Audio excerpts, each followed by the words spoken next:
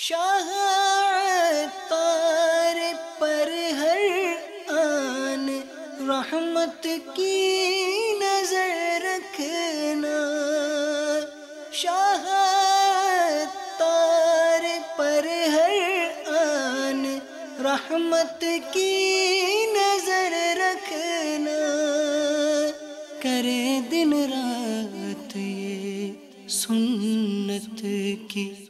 खिदमत या रसूल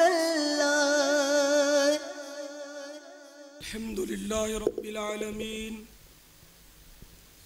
वस्सलातु वस्सलाम अला सय्यदिल मुरसलीन। अम्मा बाद।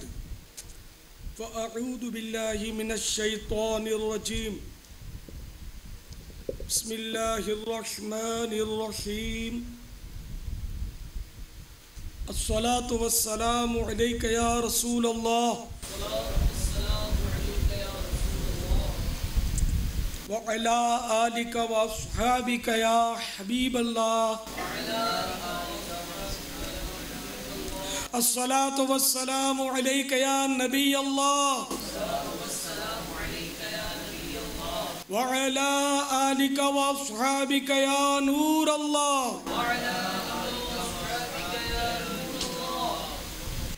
हुजूर सरापा नूर शाफ़ योमनशूर सल्ला वसल्लम का इरशाद नूर अला नूर है।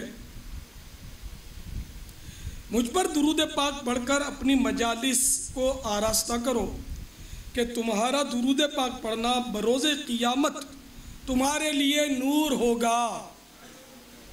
सल्लु अल हबीब। सल्लल्लाहु तआला मुहम्मद। आज चौदह सौ उनतीस सिन हिजरी की शब बारात है। आलिम मुहदस और मशहूर ताबी बुज़ुर्ग हज़रत सैदना सुफियान सहरी रदी अल्लाह तु से मरवी है। कि मरने वाला हर चीज़ को जानता है। हती के गसाल से कहता भी है, तुझे खुदा की कसम है, तू गसल में मेरे साथ नरमी कर। नीज जब वो अपने जनाजे की चारपाई पर होता है, उससे कहा जाता है, अपने बारे में लोगों की बातें सुन। अमीरमिन हज़रत सैदना फ़ारूक आज़म रदी अल्लाह तवायत रिवायत करते हैं, नबी करीम रऊफ़ुलरकीम अली अफदलसलात व तस्लीम ने शाद फरमाया, मुर्दा जब तख्त पर रखा जाता है और उसे लेकर अभी तीन कदम ही चले होते हैं कि वो बोल उठता है और उसकी बात को इंसानों और जिन्नात के अलावा अल्लाह ताला जिसे चाहता है सुनवाता है।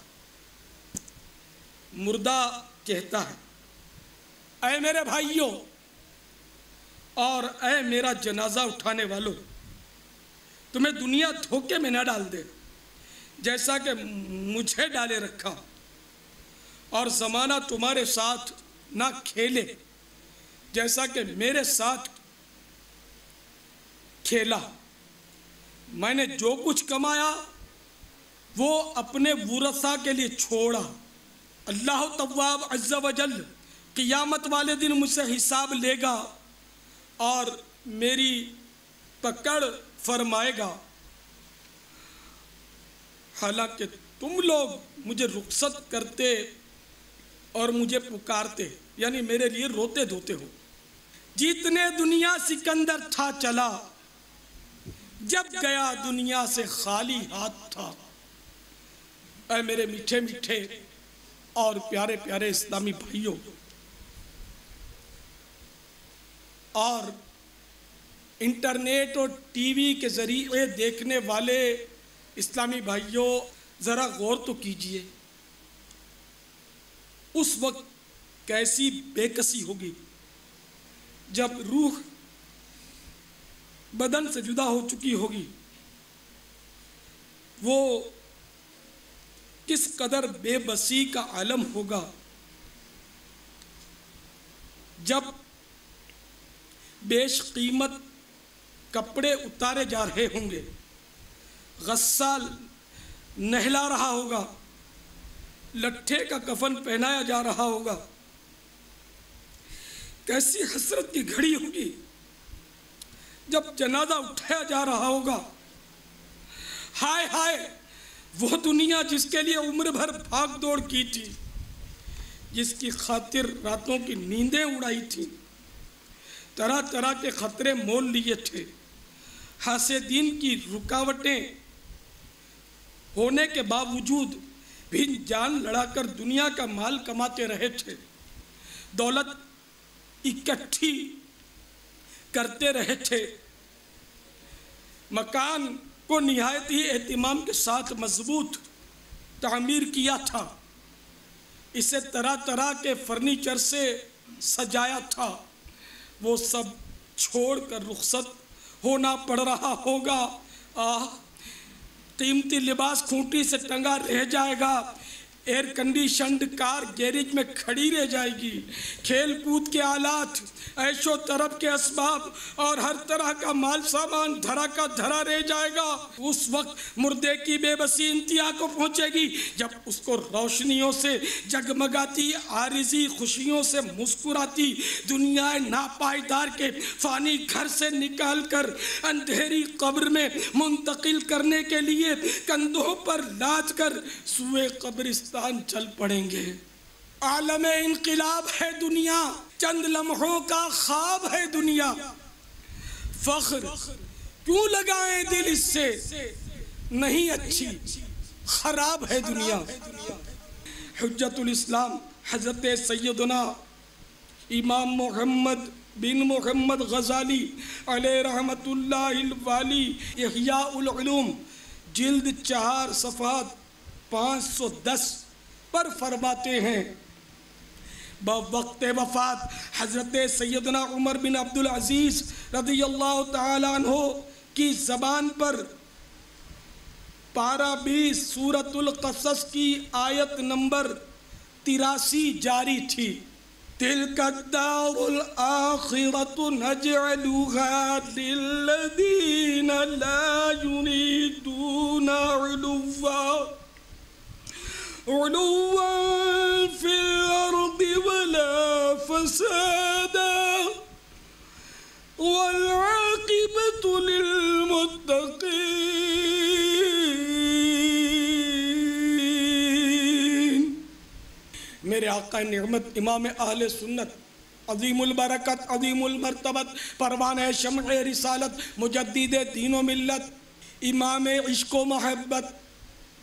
बाईस खैर बरकत, आलिम शरीयत, पीर तरीक़त।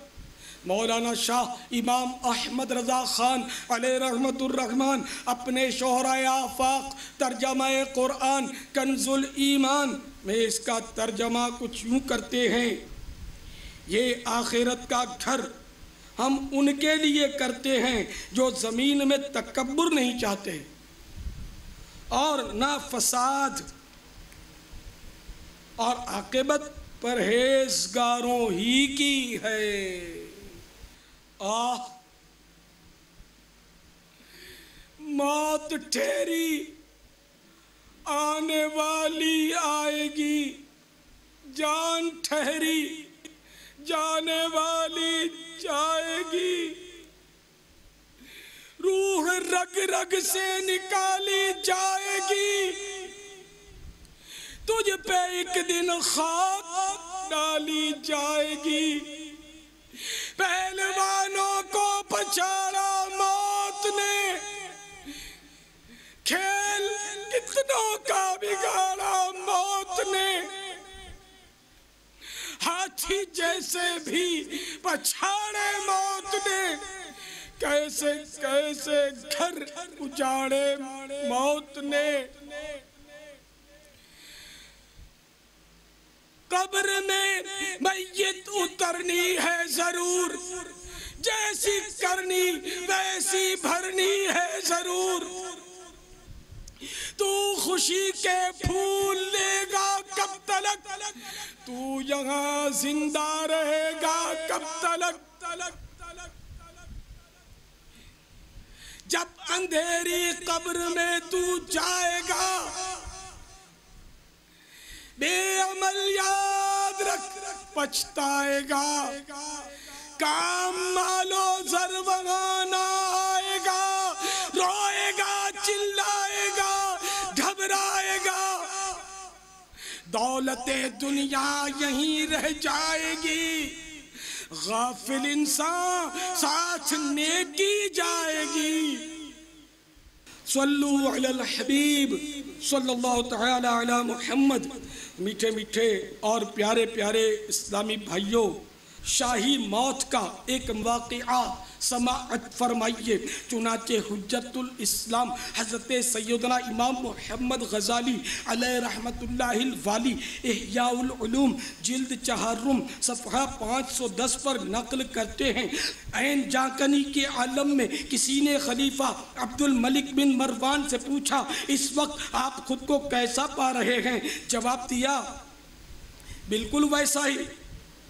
जैसा कि कुरान मजीद के सातवें पारे में सूरतुल अनआम में अल्लाह तबारक व तआला ने इरशाद फरमाया है।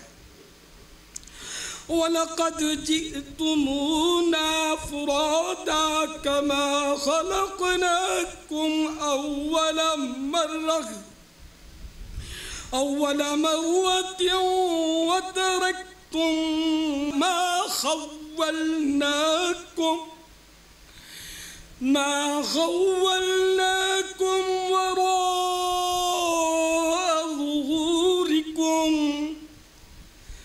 तर्जमा कंजुल ईमान और बेशक तुम हमारे पास अकेले आए जैसा हमने तुम्हें पहली बार पैदा किया था और पीठ पीछे छोड़ आए जो मालो मता हमने तुम्हें दिया था। हुज्जतुल इस्लाम, सफ़हा नंबर 511 पर एहियाउलूम के फरमाते हैं, मशहूर अब्बासी खलीफा हारून रशीद अले रहमतुल्लाह मजीद, के बारे में नकल करते हैं कि जब इनका आखिरी वक्त आया तो वो अपने कफन को उलट पलट कर बार बार हसरत से देखते और उनतीसवें पारे की सूरतुल हाक का की ये दो आयतें तिलावत करते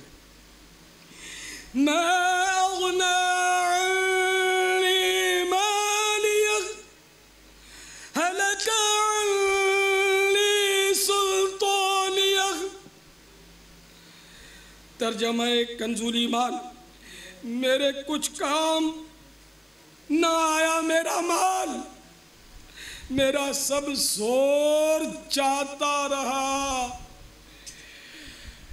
अरे अपने सरमाए पर फूलने वाले सरमायादारों गरीबों को हकारत से देखने वाले मालदारों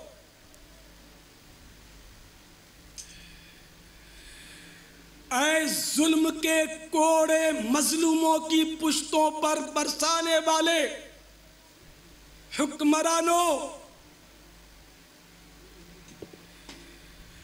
ऐ चोरियाँ और डकैतियाँ करने वालों। ऐ माल के बलबूते पर बेकसूरों को जेल की कोठड़ियों में बंद करवाने वालों।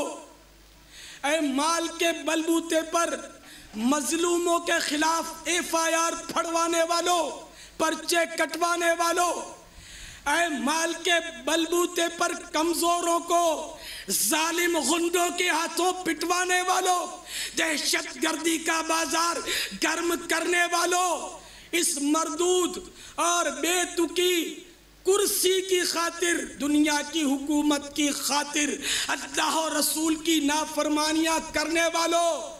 मौत को मत भूलो। मौत तुम्हारा पीछा किए चली आ रही है। एक बार फिर वही आयतें सुनो जो सैयदुल्ला हारून रशीद, जो एक परहेजगार खलीफा थे। इन्होंने पढ़ी थी मागना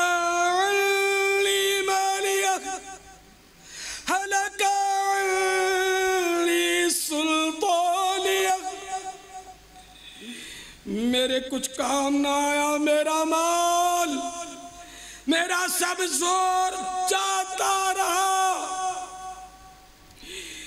दिला गाफिल न हो। यकदम ये दुनिया छोड़ जाना है। बगीचे छोड़कर खाली जमी अंदर समाना है।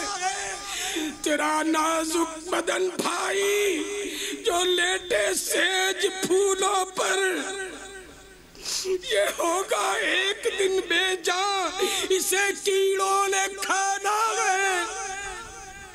तू अपनी मौत को मत भूल, कर सामान चलने का। जमी की खाक पर सोना है, ईटों का सिराना है। न बेली हो सके भाई, न बेटा बाप दे माई। तू क्यों फिरता है सौदाई? अमल ने काम आना है। कहाँ है ज़ोर नमरूदी? कहाँ है तख्त गए सब छोड़िए फानी। अगर नादान दाना है, अजीजा याद कर जिस दिन के मलकुल मौत आएँगे। न जावे कोई तेरे संग, अकेला तूने जाना है। आ इस दुनिया में आकर हम सख्त इम्तिहान में पड़ गए। हमारी आमद का मकसद कुछ और था, मगर शायद हम समझ कुछ और बैठे।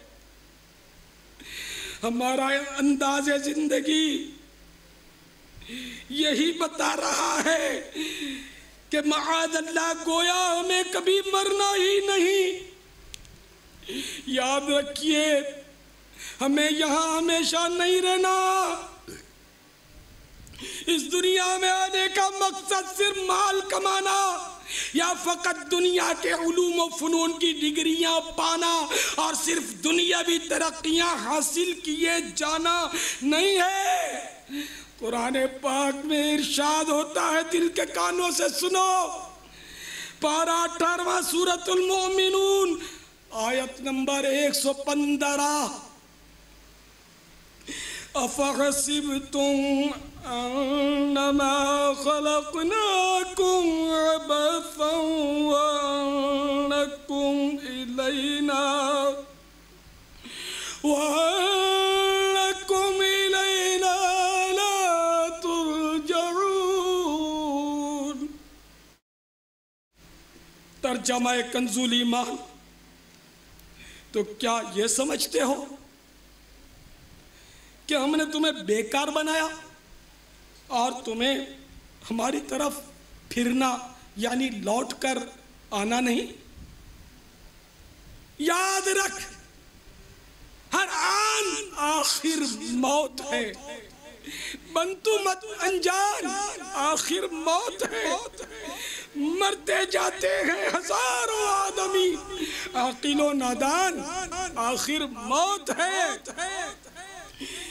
क्या खुशी हो दिल को चंदे जीस्त से? गम जदा है जान, आखिर मौत है। क्या खुशी हो दिल को चंदे जीस्त से? गम जदा है जान, आखिर मौत है। क्या खुशी हो दिल को चंदे जीस्त से? गम जदा है जान, आखिर मौत है। मुल्क फानी में फना, हर शे को है। सुन लगा कर कान, आखिर मौत है। बारहा इल्मी तुझे समझा चुके। मान या मत मान, आखिर आखिर मौत है। मीठे मीठे और प्यारे प्यारे इस्लामी भाइयों और मुझे इंटरनेट और टीवी के ज़रिए अपने अपने घरों में सुनने वाले इस्लामी भाइयों, यकीनन अल्लाह रहमान जल्ल जलालुहु ने इंसान को अपनी इबादत के लिए पैदा किया है। अगर इस इंसान ने अपनी ज़िंदगी के मकसद में कामयाबी हासिल ना की, और बरोज शुमार, बसूरत ख़ताकार गुनाहों का अंबार लेकर अपने पाक परवरदगार अज्जा वजल के दरबार में पेश हो गया तो दुनिया की बेशुमार दौलत भी उसे अपने रब जब्बार कहार के कहरो गज़ब से नहीं बचा सकेगी, नहीं बचा सकेगी, नहीं बचा सकेगी। दुनियावी उलूम फ़नून, कारखाने असलहा, दुनियावी सोर्स मनसब, वजारतें, हुकूमतें, सदारतें, दुनियावी आसाइशें, शोहरतें, क़ुव्वतें, दुनियावी अजमतें। अल्लाह तबारक व तआला की बारगाह में सुरखरू नहीं कर सकेंगी। हाँ हाँ नहीं कर सकेंगी। इकतदार के नशे में बदमोश होकर मजलूमों पर जुल्म की आंधियाँ चलाने वालों, ऐ दहशत गर्दियों का बाज़ार गर्म करने वालों, ऐ कमज़ोरों को दबाने वालों, ऐ गरीबों का खून चूसने वालों, ऐ सूद का लेन देन करने वालों, ऐ मसनूई महँगाई बर्पा करके गरीब मुसलमानों को मजीद मुसीबत के गार में धकेलने वालों, ऐ महंगाइयों पर खुश होने वालों, ऐ गरीब मजदूरों से ज़्यादा काम लेने के बावजूद उनकी मजदूरी पूरी ना अदा करने वालों लोगों के कर्जे दबा लेने वालों, ऐ सूद पर, सूदी लोन पर अपनी मिलें फैक्ट्रियाँ चलाने वालों, अपने कारोबार चमकाने वालों, मिलावट वाला माल बेचने वालों, शराब खाने चलाने वालों, नाइट क्लब चलाने वालों एश कोशियों के अड्डे चलाने वालों, शराब का कारोबार करने वालों जुए के अड्डे चलाने वालों। गुंडों, डाकुओं, बदमाशों, लुटेरों और अगवा करने वालों की सरपरस्ती करने वालों। अपनी अफसरियों पर मत भूलो। अपने हुकूमती तमगों पर मत भूलो। अपने असलहे और अपने साथ खुशामद खोरों के हुजूम में गुम होकर खुदा और रसूल को मत भूलो।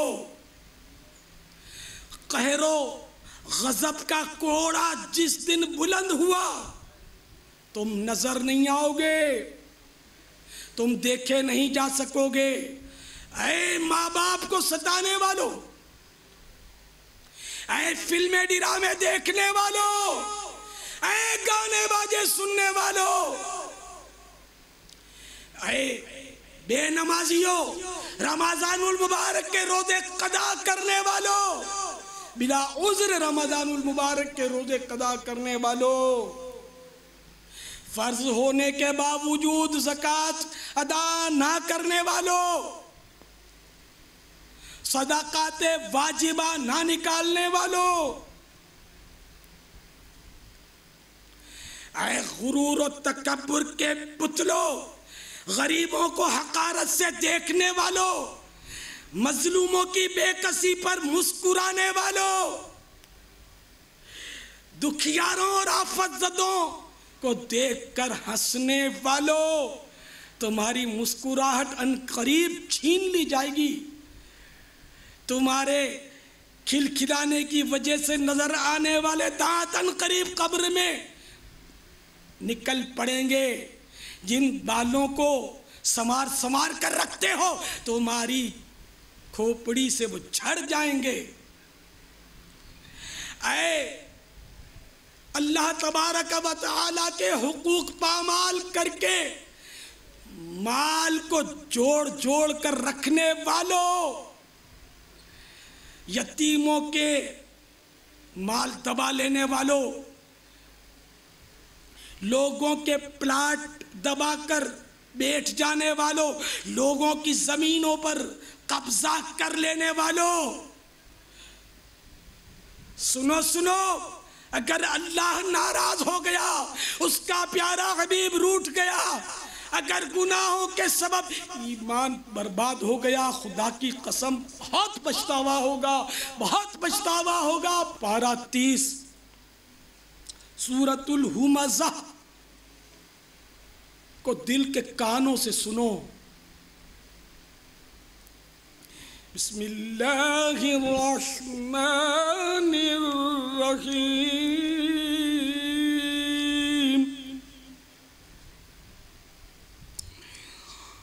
वैलुल लिकुल्लि हुमज़तिन लुमज़तिन अल्लज़ी मादा।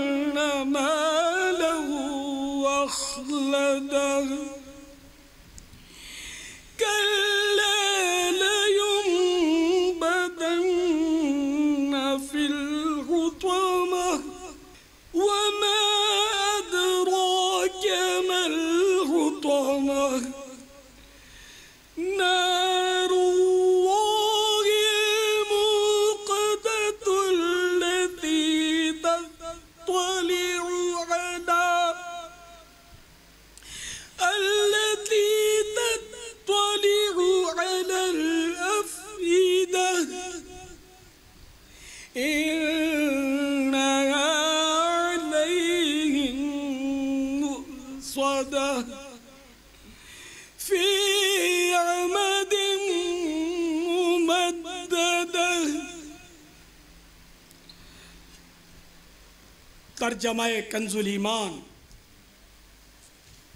अल्लाह अज्जा वजल के नाम से शुरू, जो नहायत मेहरबान, रहम वाला, खराबी है उसके लिए, जो लोगों के मुँह पर ऐब करे, पीठ पीछे बदी करे, जिसने माल जोड़ा और गिन गिन कर रखा क्या ये समझता है कि इसका माल इसे दुनिया में हमेशा रखेगा? हर हरगिज नहीं, ज़रूर वो रौंदने वाली में फेंका जाएगा। और तूने क्या जाना क्या रौंदने वाली? अल्लाह अज्जा वजल की आग के भड़क रही है वो जो दिलों पर चढ़ जाएगी।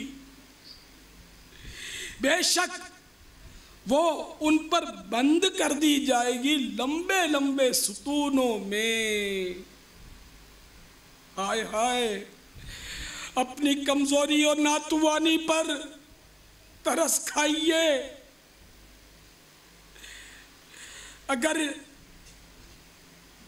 अपनी कुव्वत को आजमाना है तो कभी जलते हुए चूल्हे में उंगली रखकर आजमा लीजिए।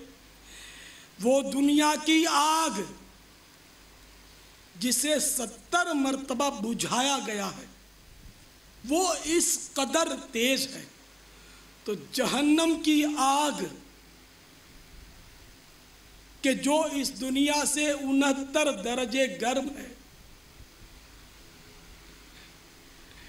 अगर जहन्नम को बेल के नथने के बराबर खोल दिया जाए तो मगरिब में रहने वालों के दिमाग उसकी गर्मी से खोलते हुए उबल कर बह जाएँ।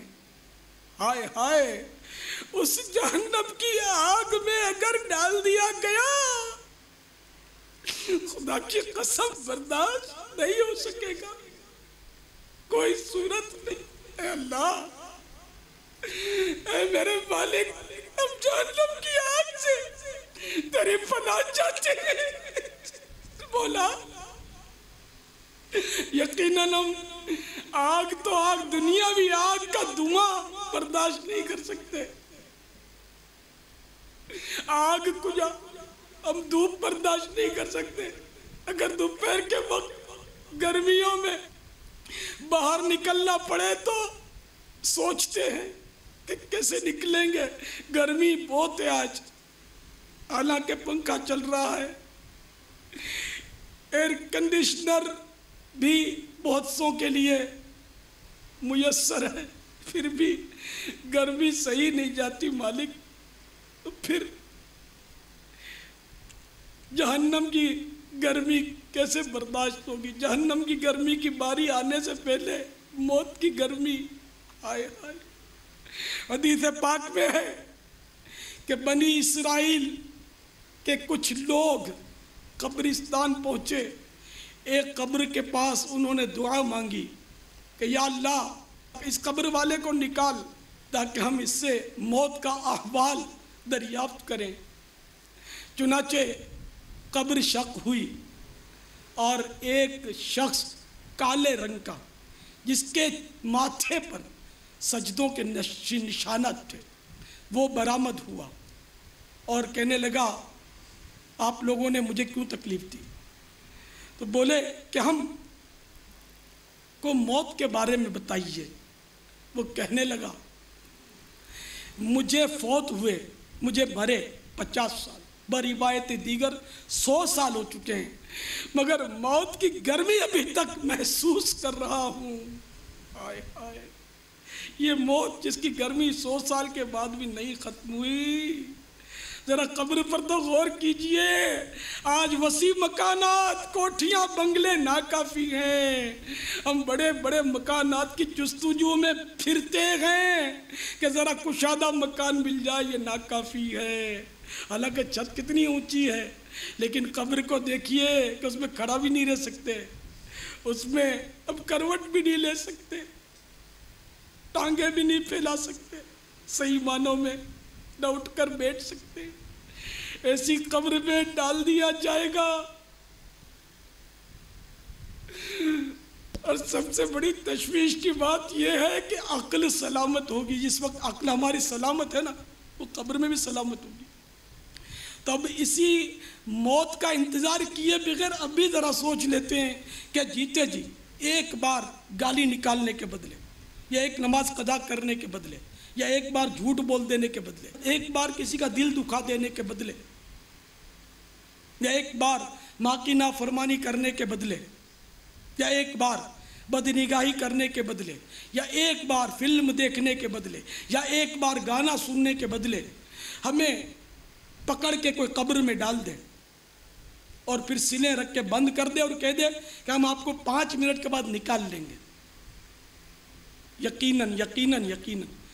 पाँच मिनट बड़ी बातें है पाँच सेकंड भी हम बर्दाश्त नहीं कर सकेंगे। हमें जब इस काम के लिए पकड़ेंगे तो गले फाड़ फाड़ कर चीखेंगे। अक्ल सलामत है जभी तो। और जो बेहोश हो उसको उतार दें तो कुछ नहीं करेगा। तो इसी तरह जब मौत की बेहोशी छाएगी, अक्ल सलामत होगी। हालाँकि बेहोशी में, दुनियावी बेहोशी में अक्ल उस वक्त मौकूफ़ हो जाती है। कुछ पता नहीं चलता। लेकिन अब मौत जब आएगी तो अक्ल काम कर रही होगी। देख रहे होंगे कि गुस्ल दिया जा रहा है, कफन पहनाया जा रहा है। नमाज़ जनाजा हो रही है। लोग कंधे बदल बदल कर कब्रिस्तान की तरफ़ बड़े चले जा रहे हैं। लीजिए, कब्र आ गई। अब पकड़ कर कब्र में उतारा जा रहा है। न बिछोना है, न तकिया है। चादर भी नहीं बिछाई। आज नरम नरम पलंगों पर सोते हैं। एक से एक आरामदेह पलंग के तलबगार हैं, लेकिन उस वक्त पलंग तो क्या? चादर भी नहीं बिछाई जाएगी। यूँ ही ज़मीन पर डाल देंगे। मिट्टी में डाल देंगे तो क्या भी नहीं देंगे। पंखा भी नहीं लगाएँगे, बत्ती भी नहीं लगाएँगे। और सब सब कुछ देख रहे होंगे, कुछ नहीं कर सकेंगे। फिर सिले रखेंगे फिर चीखे मारेंगे। ये इधर इधर इधर इधर थोड़ी जगह रह गई, मिट्टी डालो। हाँ इधर भी मिट्टी डालो। इस तरह हर तरफ़ से ऐसा बंद करेंगे कि रोशनी की किरण भूल कर भी अंदर ना दाखिल हो। इसी पर इक्तफा नहीं करेंगे। मनो मिट्टी मजीद ऊपर डाल देंगे। अक्ल सलामत है। आप सोच लीजिए क्या होगा। अगर रब की रहमत का साथ ना हुआ तो क्या होगा? अगर रब नाराज़ हो गया तो क्या बनेगा? अगर हमारी नाफरमानियों के बाइस मुस्तफ़ा रूठ गए तो क्या होगा? क्या होगा? कब्र की दीवारें मिलना शुरू होंगी। ऐसा दबाएँगी कि पसलियाँ चटाक पटाख करके टूट फूट कर एक दूसरे में पैवस्त हो जाएँगी। अक्ल सलामत होगी। अक्ल सब समल सलामत होगी कि तकलीफ़ का अंदाज़ा करना है तो किसी मज़बूत आदमी से गले मिलकर उससे कहिए कि जितना ज़ोर लगाना लगा और मुझे दबा। आपको अपना भाव पता चल जाए कि दबाने में कितनी तकलीफ़ होती है। यहाँ पसली क्या आपकी टूटेगी? आपका कोई बाल भी नहीं टूटेगा, लेकिन फिर भी आपकी चीख निकल जाएगी। तो कब्र में क्या होगा? अगर रब नाराज़ हुआ मुस्तफ़ा नाराज़ हुए, जल्ल जलालहू व सल्लल्लाहु तआला अलैहि वसल्लम। तो ऐ मेरे प्यारे प्यारे और मीठे मीठे इस्लामी भाइयों और इस्लामी बहनों, उसके लिए तैयारी करनी है। कब करेंगे? बुढ़ापे में करेंगे। क्या आपने जवानों को मरते नहीं देखा? ये तेरी उम्र है, तूने दाढ़ी रख ली। ये तेरी उम्र है, तूने इमामा सजा लिया। तो क्या इसके लिए कोई उम्र मुतन है? जब बंदा बालिग होता है, वो मुकल्लफ हो जाता है। और अब उसको जो जो फ़र्ज़ और वाजिबात उस पर होते चले गए, वो उसको अदा करने। इसमें उम्र का अब कोई सिलसिला नहीं। तो जो करना है, वो कल पर डालना। ये शैतान और नफ्स की शरारतें हैं। आज और अभी होना चाहिए। आहिस्ता आहिस्ता करेंगे, आहिस्ता आहिस्ता कोशिश करेंगे। आहिस्ता आहिस्ता, अरे आहिस्ता आहिस्ता नहीं, तेज़ी से।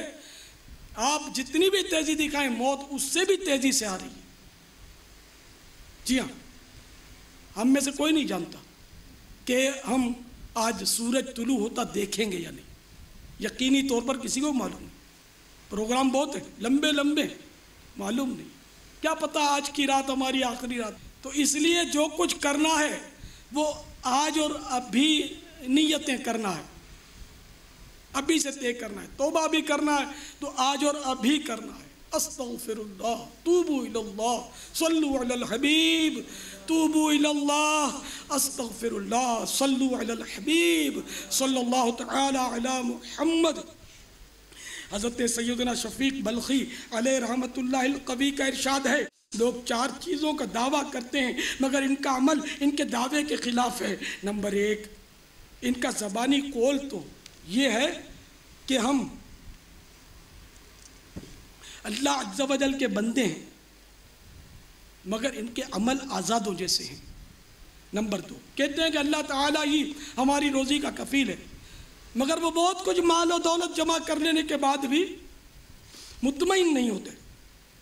नंबर तीन, कहते हैं कि दुनिया से आखिरत बेहतर है मगर वो सिर्फ़ दुनिया की बेहतरी के लिए कोशा हैं। नंबर चार, कहा करते हैं कि हमें एक दिन ज़रूर मरना पड़ेगा। मगर ज़िंदगी का अंदाज ऐसा है कि गोया कभी मरना ही नहीं।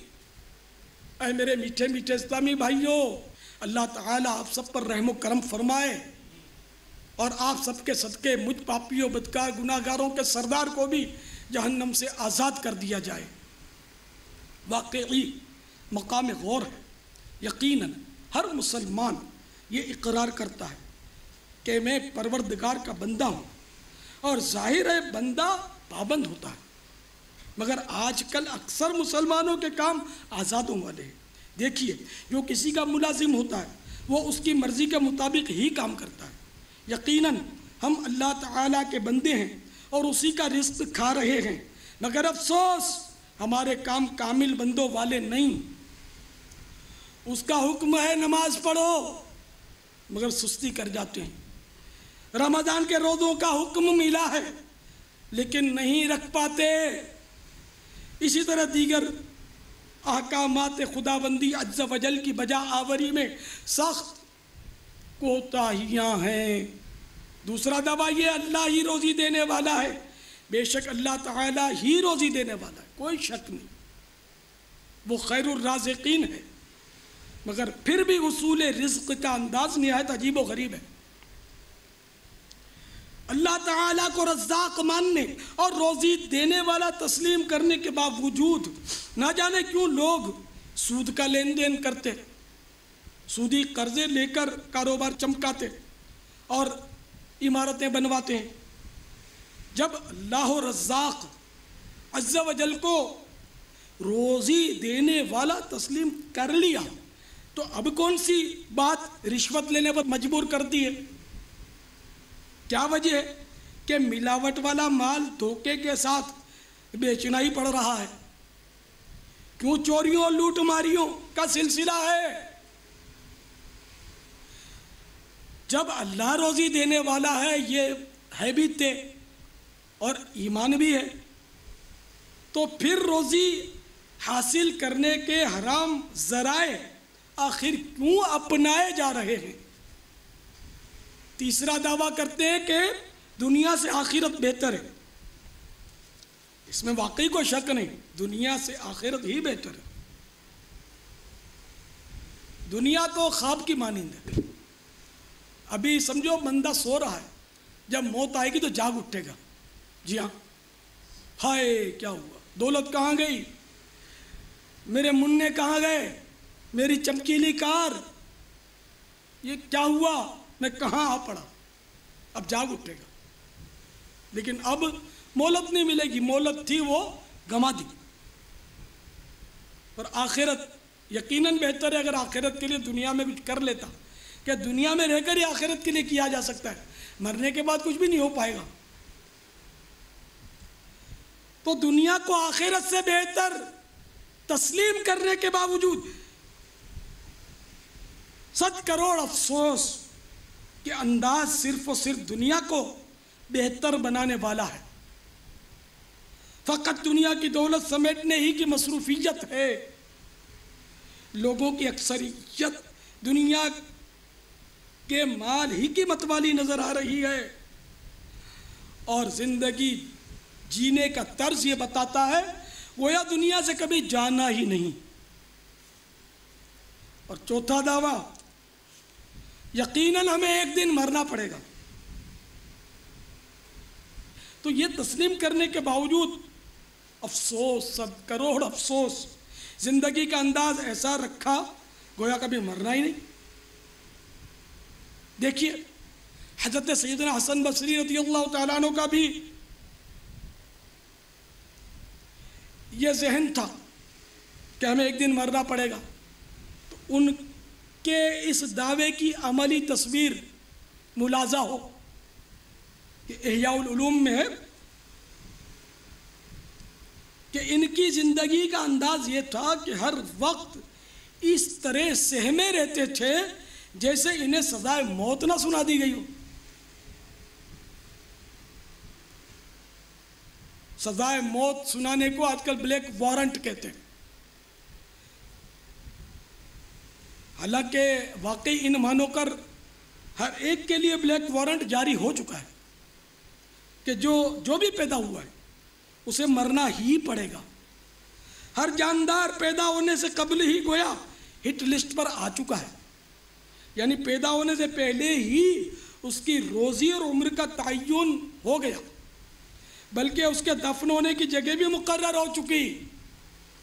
रहम मादर में, माँ के पेट में इंसान का पुतला बनाने के लिए फरिश्ता ज़मीन के उस हिस्से से मिट्टी लाता है जहाँ ये बंदा उम्र गुजारने के बाद मरकर दफन होगा।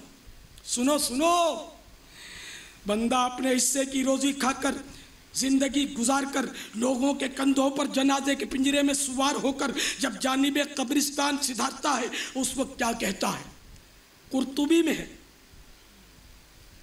सरकार मदीना, सुल्तान बा करीना करार कल्ब सीना, फैज़ गंजीना, साहिब मुअत्तर पसीना, सल्लल्लाहु अलैहि वसल्लम का फरमाने, इबरत निशान है। उस ज़ात की कसम, जिसके कब्ज़े कुदरत में मेरी जान है, अगर लोग इसका, यानी मरने वाले का, ठिकाना देख लें और उसकी बात को सुन लें तो मुर्दे को भूल जाएँ और अपनी जानों पर रोएँ।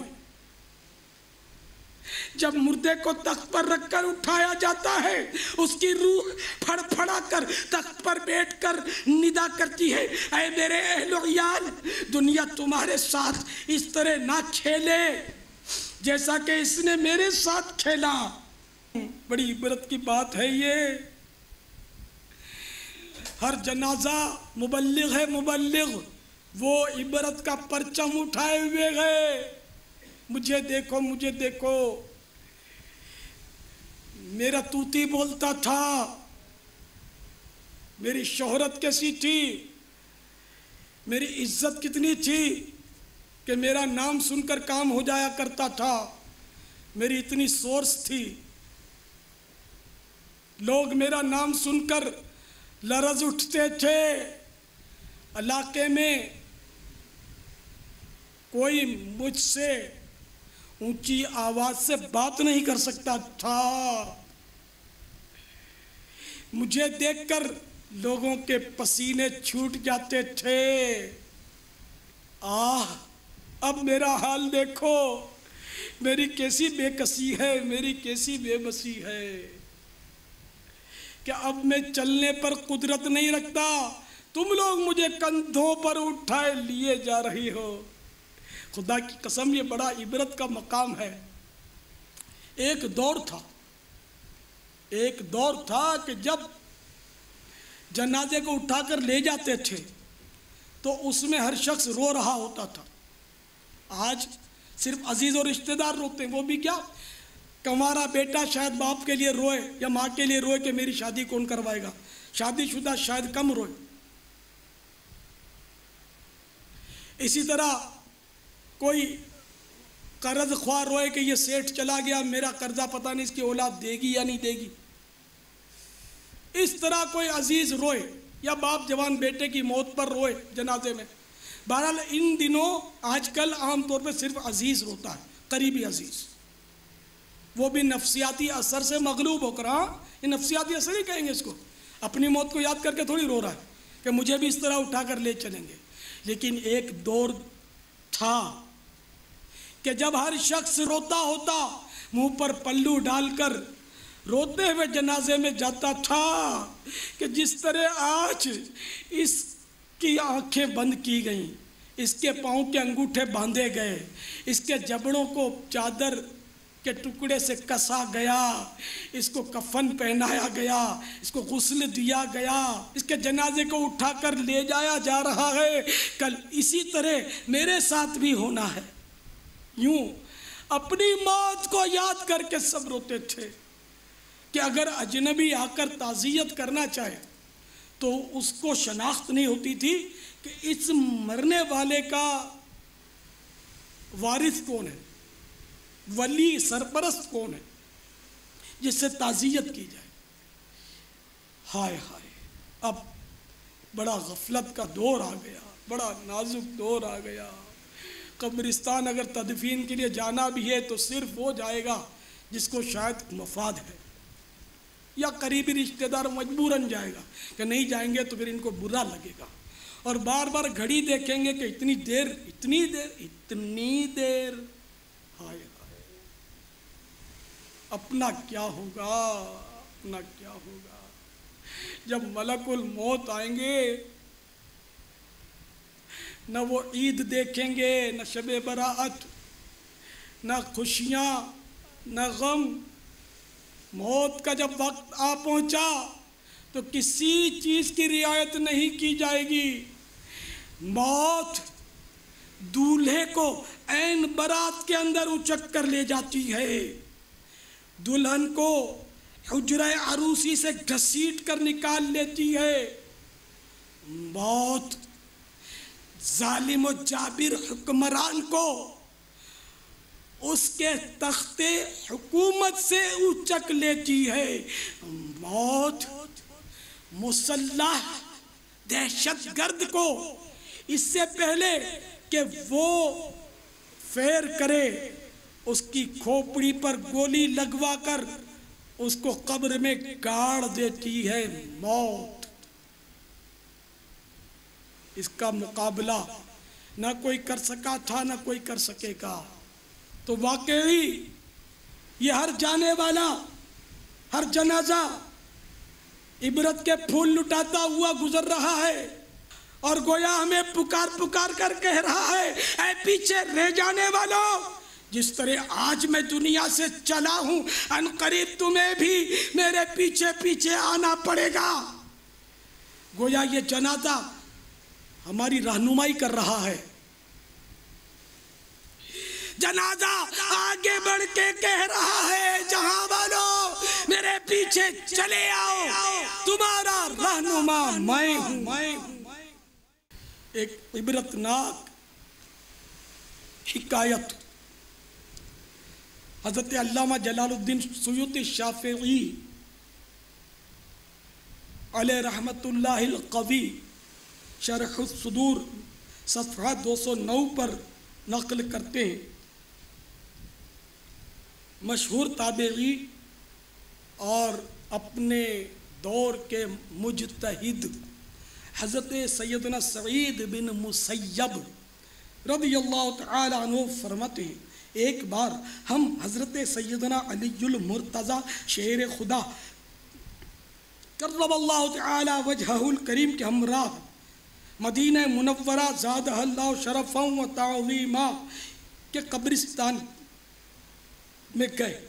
मौला मुश्किल कुशा करम अल्लाह ताला वजहुल करीम ने कब्र वालों को सलाम किया और फरमाया अय कब्र वालों, तुम अपनी खबर बताओगे या हम तुम्हें बताएँ?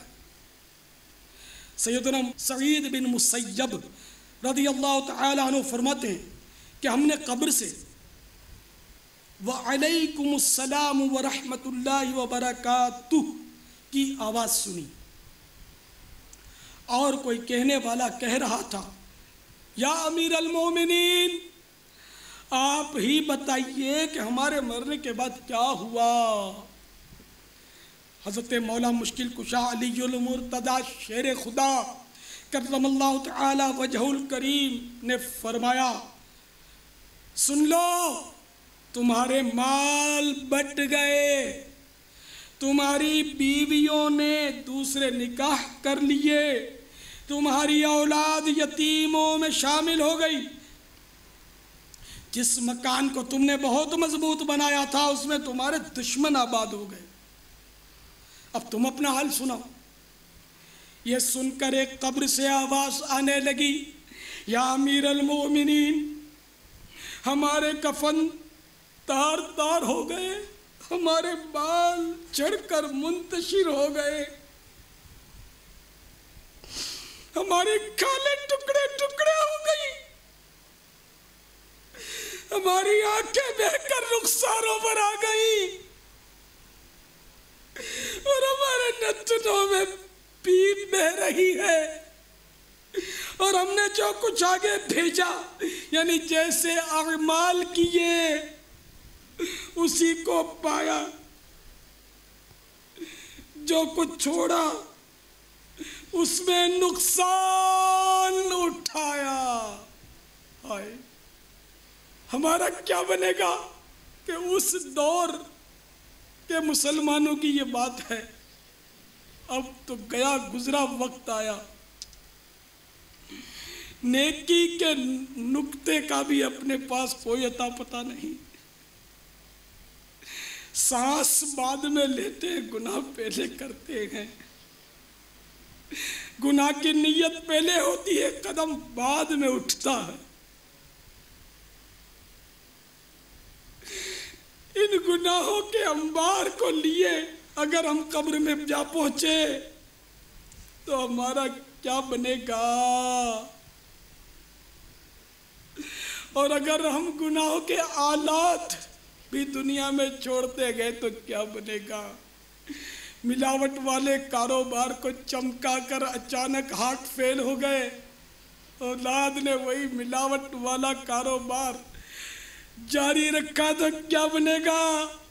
ए जुआ का अड्डा चलाने वाले नादान, अगर इसी तरह तुम मर गया तेरी औलाद, अगर इसी अड्डे को चलाती रही इसी शराब खाने को जारी उसने रखा। अगर तुम सिनेमा घर छोड़कर मरे औलाद सिनेमा घर चलाती रही, ऐ दहशत तुम्हारी औलाद भी तुम्हारे नक्शे कदम पर चलते हुए तुम्हारा स्नेहा उठाकर मुसलमानों का खून बहाने लगी। तो तुम्हारी हलाकत, बालाए हलाकत हो सकती है। जरा खुदा का खौफ करो, जरा डरो।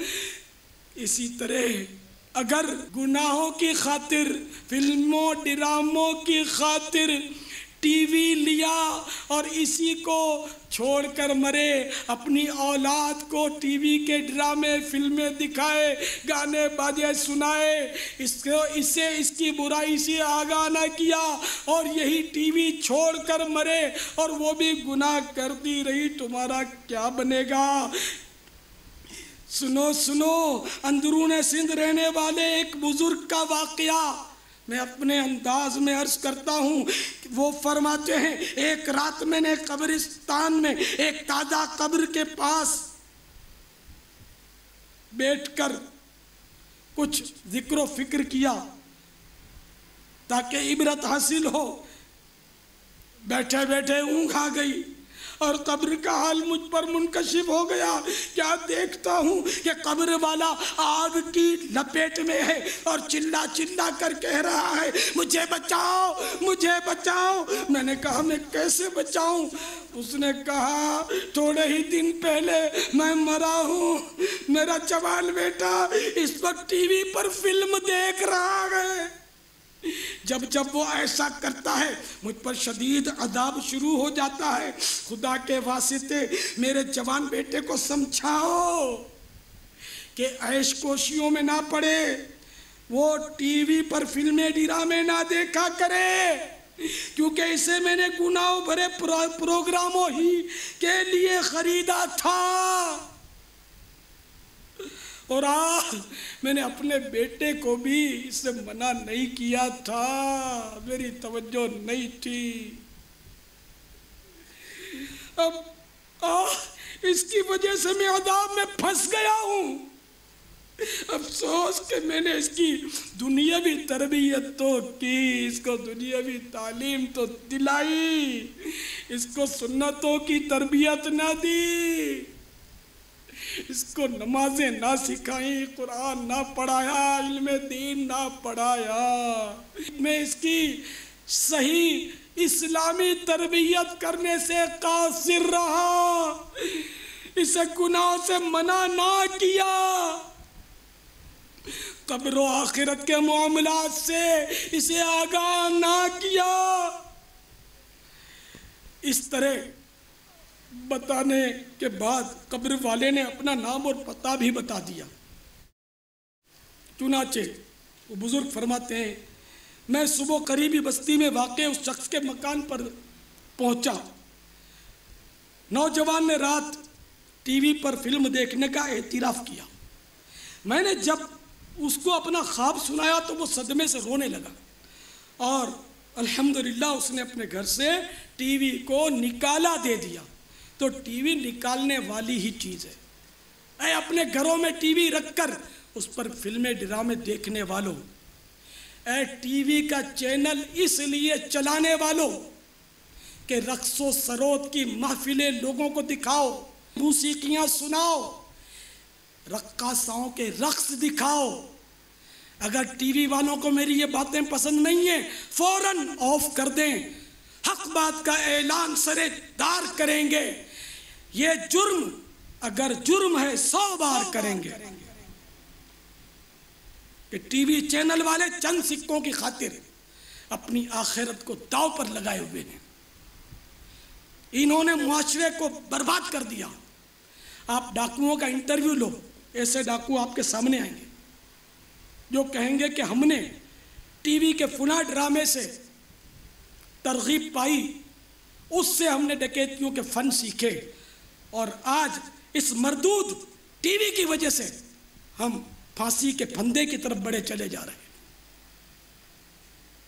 हाँ अगर कोई वाकई हकीकी मानों में शर्ई एतबार से दुरुस्त टीवी का चैनल चलाए, मरहबा, सद मरहबा।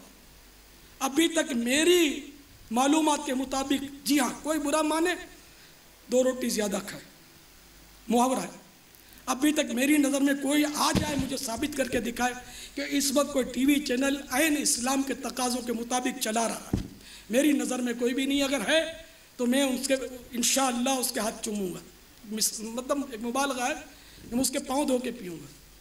लेकिन मेरी नज़र में अभी तक कोई नहीं है। औरतों को सब ला रहे हैं, मूसिकियाँ सब चला रहे हैं। फोहड़ किस्म की एडवर्टाइजमेंट्स सभी दे रहे होंगे। अरे पैसे कब? ये प्रोफेशनल तो मेरी बात को बुरा ना मानिए। बहरहाल। वो टीवी पर बात चली थी। यहाँ टीवी से मुराद वही है कि गुनाहों भरे प्रोग्राम जो देखते हैं टीवी पर, और तकरीबन यही हाल है। तो इसलिए दिल अक्सर हुक्मुल कुल वाली बात है कि टीवी घर में नहीं होना चाहिए, कि गुनाहों से बचना दुश्वार तरीन है। तो एक मेजर का वाक़ सुने। बहुत सारे फौजी अफसर, बहुत सारे या कुछ मेरे पास तशीफ लाए थे एक बार। उनमें से एक मेजर ने मुझे बताया कि उन दिनों में मंगला डैम पर तयन था मेरा और दीना बने मदीना के इस्ताई भाइयों ने मकतबतुल मदीना की तरफ़ से जारी करदा सुन्नतों भरे बयानात की बास गेस्टें, तोहफे में दी वो गेस्टें घर में चलाई गई। इनमें सिंध के बुज़ुर्ग वाला वाक़ जो अभी मैंने अर्ज़ किया, वो भी था। सुनकर हम सब अल्लाह वहाब अज्जल के आदाब से डर गए और इत्तिफाक राय से टीवी को जिसे फ़िल्मों, ड्रामों के लिए और गुनाहों भरे प्रोग्रामों के लिए ख़रीदा गया था, इसी गुनाहों के लिए आम तौर पर इस्तेमाल किया जा रहा था। खुदा की कसम उस टीवी को हमने मिलजुल कर इतफाक़ राय से घर से निकाला दे दिया। अल्लाह पाक की कसम। वो कह रहे हैं, मेजर साहब ने मुझे बताया कि अल्लाह पाक की कसम, टीवी घर से निकालने के तकरीबन एक हफ़्ते बाद। मेरे बच्चों की अम्मी ने गैब की खबर देने वाले मदनी सरकार सल्लल्लाहु अलैहि वसल्लम का ख्वाब में दीदार किया। और प्यारे प्यारे आका मदीने वाले मुस्तफ़ा सल्लल्लाहु अलैहि वसल्लम ने इरशाद फरमाया, मुबारक हो कि तुम्हारा घर से टीवी निकाल देने का अमल अल्लाह ताला की बारगाह में मंजूर हो गया है। सल्लु अलल हबीब, सल्लल्लाहु ताला अला मुहम्मद। तो मीठे मीठे और प्यारे प्यारे साए भाइयों, अब देखते हैं कौन खुश नसीब ऐसा है जो इस मुसीबत को अपने घर से निकालता है, या ऐसा बंद कर देता है कि इसको इस तरह आप लॉक कर सकते हैं, मुकफ़ल कर सकते हैं, इस तरह एक चैनल का उसको पाबंद कर सकते हैं, कि जैसे ही ऑन करेंगे तो वही मदनी चैनल ऑन होगा, जिसमें शरीयत के मुताबिक प्रोग्राम होगा। कोई औरत का डांस आपको रास्ते में नज़र नहीं आएगा, कोई मौसीकी सुनी नहीं जाएगी। अगर आप कोशिश करेंगे तो ये मुमकिन है। तो यूँ टीवी जो है रखने की सिर्फ़ एक सूरत है। कि उसमें सिर्फ़ इस्लामी कोई बयान या नात शरीफ या तिलावत सुनी जा सकती है, या किसी सही शर्री बयान करने वाले सुन्नी आलिम का बयान अब भी सुना जा सकता है। लेकिन वही सूरत के बाकी मैंने क्या ना कि मुकम्मल तौर पर एक सौ फ़ीसद कोई शर्री चैनल मेरी तब मेरी मतलब मालूम में नहीं है। कुछ कुछ तो सभी अच्छी बातें दे देते होंगे, लेकिन ज़ाहिर बात तो वही है ना, सौ फ़ीसदी। हमारा मकसद कोई सियासत नहीं, किसी मुल्क के मामलात में उस वक्त तक इंटरफेयर करना नहीं, जब तक शरीयत हम पर वाजिब ना कर दे।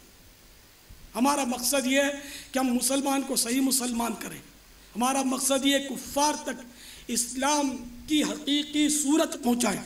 आज up to date tie pant में कस कसा कसाया मुसलमान देखकर कुफ़ार इस्लाम की तरफ़ माइल होने से कतरा रहे हैं कि अगर यही मुसलमान है जो पैसे खा जाता है, अगर यही मुसलमान है जो बम ब्लास्ट करता है, अगर यही मुसलमान है जो खुदकुश हमले करता है, अगर यही मुसलमान है जो लोगों के पैसे खा जाता है तो हम अपनी जगह पर क्या बुरे हैं?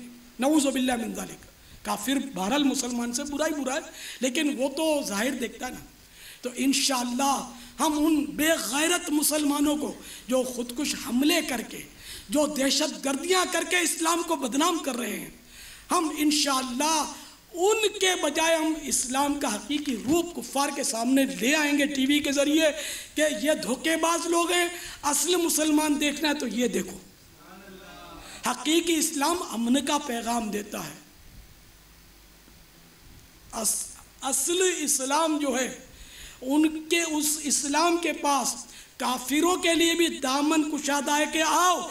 दामन रहमत तुम्हारे लिए खुला है। जल्दी जल्दी कलेमा पढ़ो और मुस्तफ़ा के दामन से लिपट जाओ। जाओ। दामन मुस्तफ़ा से जो लिपटा यगाना हो गया जिसके हुजूर हो गए उसका जमाना हो गया। ज़ाहिर खुद कुछ हमले करने से या बम फोड़ने से या फायरिंग करने से खमा खा फायरिंग करने से कोई काफिर मुसलमान नहीं हो जाएगा। हड़तालों की काल देने से, दुकानों पर पथराव करने से, दुकानें लूट लेने से, आगे लगा देने से, बसें जला देने से, इसको देखकर कोई मुसलमान हुआ? आपने देखा हुआ सुना, मुझे बता देना।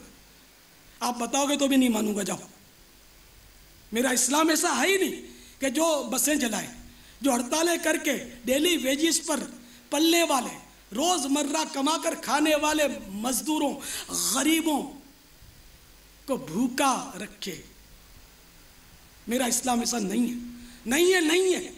मेरा इस्लाम है, आप बताओ ऐसा। नहीं है ना? मेरा इस्लाम सलामती का पैगाम देता है। मेरा इस्लाम अमन का पैगाम देता है। मेरा इस्लाम अमन का पैकर है और मुसलमान भी अमन का पैकर है।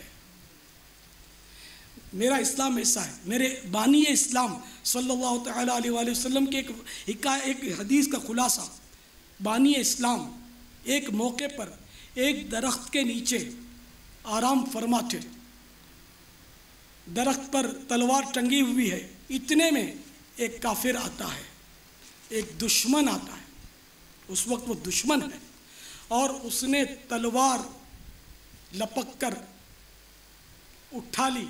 और उसको लहराते हुए खड़ा हो गया। नबी की आँख सोती है, दिल जागता है। फ़ौरन आँखें खुल गई। जैसे उसने देखा कि जाग उठे वो तलवार हिलाते हुए, लहराते हुए कहने लगा अरे मोहम्मद, अब मुझसे तुम्हें कौन बचाने वाला है? मेरे मुस्तफ़ा सल्लल्लाहु अलैहि वसल्लम ज़रा ना घबराए। आपकी ज़बान हक के तर्जुमान से फ़ौर निकला अल्लाह। जब अल्लाह का नाम उसके कानों से टकराया और कानों से होता हुआ दिल से मस हुआ, उसके हाथ कप कपा उठे, तलवार हाथ से छूट कर ज़मीन पर तशरीफ़ ले आई, मुस्तफ़ा ने वो तलवार सोत ली। और फरमाया, अब तू बता, अब तुझे मुझसे कौन बचाने वाला है? अब वो घबरा गया। मुस्तफ़ा ने तलवार रख दी और उससे मुआफ़ी दे दी। ये उसने अखलाक देखकर वो काफिर जो था, उसने कलेमा पढ़ा और दामन रहमत में छुप गया। यह है हमारा इस्लाम। दुश्मन आ जाए तो चादर भी बिछा देते हैं। हमारा इस्लाम वो है। सलाम उस पर के जिसने खून के प्यासों को कबाए दी। सलाम उस पर के जिसने गालियाँ सुन कर दुआएँ दी। सलाम उस पर के जो जख्मी हुआ बाजारे ताइफ में। सलाम उस पर के जिसका ज़िक्र था सारे सहाइफ में। सलाम उस पर के जिसके घर में चांदी थी, न सोना था। सलाम उस पर के सादा सी चटाई का बिछौना था। इस्लाम वो है कि जो अमन का पैगाम दे रहा है। बिला वजह, इस्लाम इंसान तो इंसान जानवर को भी नहीं मारता बिला वजह नहीं मारता। हाँ जब कोई इस्लाम पर चढ़ाई करता है तो फिर अशिद्दाउल कुफ्फार का मिस्ताक बनकर, आहनी दीवार होकर डट जाता है। और फिर जब कुत ईमानी के साथ वो आगे बढ़ता है तो जो इस आहनी दीवार से टकराता है, पाश पाश होकर रह जाता है। गुलामा ने मोहम्मद जान देने से नहीं डरते। ये सर सर कट जाए या रह जाए, वो परवाह नहीं कहीं कहीं तो वक्त वक्त की बात है। ऐ मेरे प्यारे प्यारे और मीठे मीठे साईं भाइयों, आओ आओ, इस्लाम की अमली तस्वीर बन जाओ, खुदा के लिए। काफिरों से दिल जले मुसलमानों को इस्लाम के लिए गालियाँ मत सुनवाओ, वरना काफिर की क्या मजाल थी कि वो मीठे मुस्तफ़ा सल्लल्लाहु अलैहि वसल्लम के खाके बनाते तो ही ने करते माजल्ला गुस्ताखियाँ करते, क्या मजाल थी। आज हमारे किरदार ने इनको बेबाक बना दिया।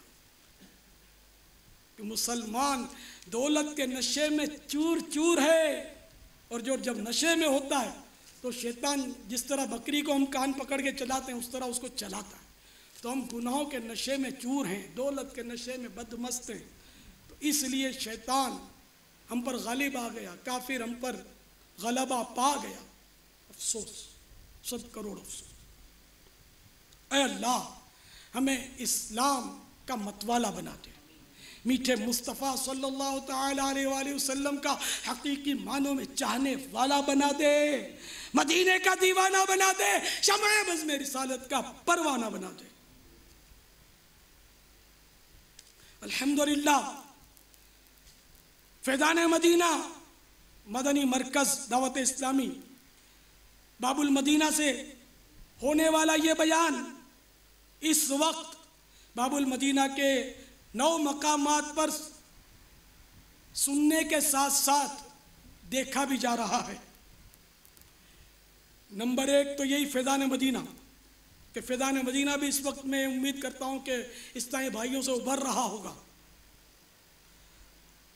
नंबर दो, ईदगाह मैदान कोरंगी नंबर छः नंबर तीन, खज्जी ग्राउंड गुलबहार नंबर चार, Eidgah Maidan brick colony number चार। नंबर पाँच, sector J four, north Karachi.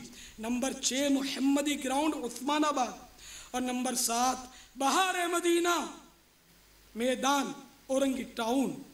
अल्हम्दुलिल्लाह दावत इस्लामी बढ़ती चली जा रही है। ये मज़ीद बढ़ेगी इन और इसी तरह दुनिया भर में दावत इस्लामी का पैगाम आम हो जाए, हर तरफ़ अमन का दौर दौरा हो जाए दहशत गर्दियाँ ख़त्म हो जाएँ और ख़ुद हमारा मुल्क जो आज सख्त बेचैनी और इसतराब का शिकार है, ये अमन का गहवारा हो जाए।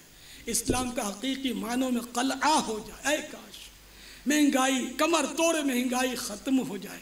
बेचारे गरीब भूख से तड़प रहे हैं, सिसक रहे हैं। खुदा की कसम, पाकिस्तान के मुसलमान काबिल रहम हैं। इस वक्त महँगाई बहुत बढ़ गई और जालिम लोग बास या कई जालिम ऐसे हैं कि अगर महँगाई की वजह से बढ़ा, ठीक है, पाँच फ़ीसद दाम बढ़ाना चाहिए कि इसमें तरकीब बन सकती है। लेकिन ये पैंतीस फ़ीसद बढ़ा देंगे, पचास फ़ीसद बढ़ा देंगे और कहते रहेंगे, साहब, महँगाई हमको महँगा आ रहा है। इस तरह लूट लूट कर मुसलमानों को जो तड़पते हैं, इनको मज़ीद तड़पा कर जो प्यासे हैं, उनको कहीं से अगर पानी का आधा गिलास मिल गया, उनके हाथों से वो छीन कर तो लूटने में मसरूफ़। ये हमारी हालत है। कहाँ से अमन हो, कैसे हो, समझ नहीं आता। कि मुसलमानों की खैर खाई का जज्बा जाता रहा। अफसोस अल्लाह मुसलमानों को हिदायत दे दे। अगर ये महँगाई वाले हसब ज़रूरत नफ़ा लें और गरीबों को देते रहें सस्ता और गरीबों पर रहम करें तो काफ़ी हद तक सहूलत हो सकती है। ताजिर अगर वाकई दियानतदारी से काम करे ना तो इतनी मुसीबतें ना आए जितनी इस वक्त आई हुई हैं। ये मेरा गुमान है। और जो ऐसा करते हैं, अगर वो मेरी आवाज़ सुन रहे होंगे तो अंदर अंदर सोच रहे होंगे कि ये हमारे दिल की बात कर रहा है। अल्लाह आपके ज़मीर को ज़िंदा कर दे। आपके दिल में रहम डाल दे।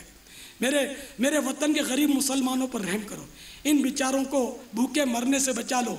इनमें कितने गरीब हैं, आपको पता है? कितने गुर्बत के मारे फाकों के मारे जिनके घरों में जवान बेटियाँ बैठी हैं और इस कमर तोड़ महँगाई की वजह से खुदकुशियाँ कर रहे हैं। गुजारा ना होने की वजह से, तनख्वाह ना बढ़ने की वजह से बच्चों की भूख नहीं देखी जाती। बच्चों का तड़पना बर्दाश्त नहीं होता, बेचारे खुदकुशी कर डालते हराम मौत है। मैंने बेचारे वैसे ही मेरे मुँह से निकला, इनका खुदकुशी करना ये गुनाह खुदकुशी नहीं करनी चाहिए। हालात का मुकाबला करना चाहिए। हालात का मुकाबला करें। अच्छे दिन भी आएँगे इन क्योंकि हर वक्त एक से दिन नहीं रहते, धूप छाँव रहती है। इन अच्छे दिन आएँगे और ज़रूर आएँगे। हराम मौत नहीं मरना चाहिए। मेरी किस्मत की रूठी हवा, हाल दिल पर नयो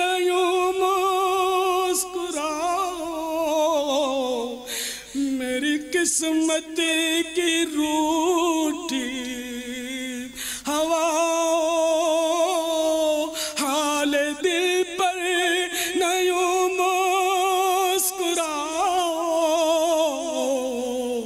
एक दिन गम के साए ढलेंगे ढलेंगे एक दिन।